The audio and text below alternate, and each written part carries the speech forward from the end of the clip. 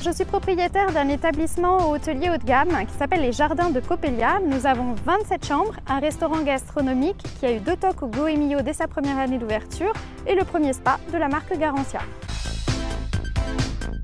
Nous avons fait appel à la CCI Seine-Estuaire pour obtenir en fait le label Normandie Qualité Tourisme, en même temps qu'on a engagé la démarche d'homologation 4 étoiles de notre établissement. Et on a donc eu une visite mystère